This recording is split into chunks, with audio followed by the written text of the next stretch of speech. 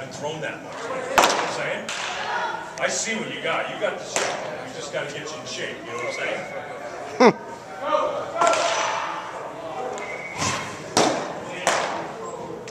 you know, he can come to Cobb with us. We're going East Cobb.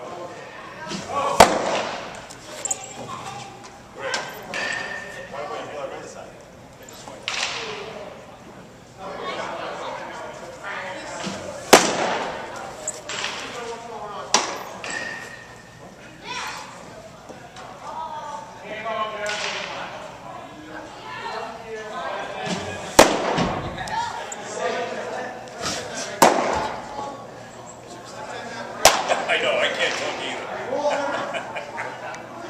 he lives here now. Lives in Shoreham. They're gonna be swimming shore.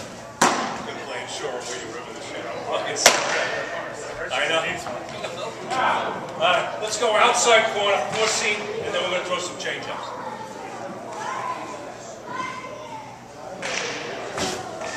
Don't pull off, right? That's where you lose that extra juice. Alright, I'm going change up.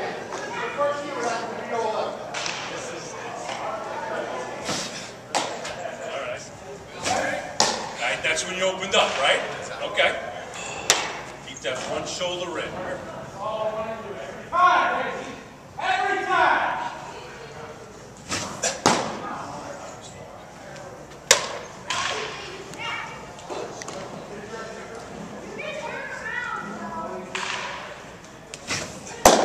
That's you pulled off, right? That's when you.